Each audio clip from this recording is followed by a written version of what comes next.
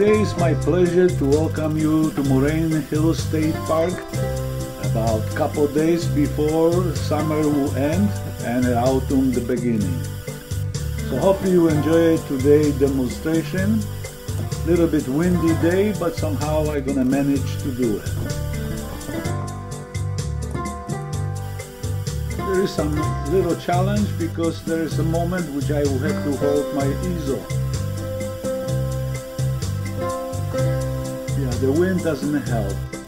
But uh, overall, it's a beautiful day and hopefully you enjoyed this demonstration.